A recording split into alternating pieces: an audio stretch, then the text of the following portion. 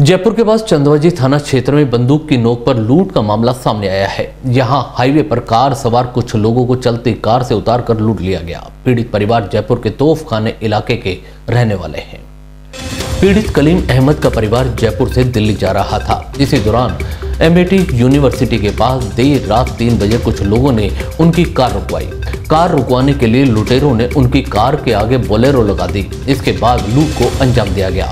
लुटेरों की संख्या चार बताई गई है। वे पिस्टल की नोक पर कार सवार लोगों से चार हज़ार रूपए नकदी, सोने के जेवर और कार लेकर फरार हो गए।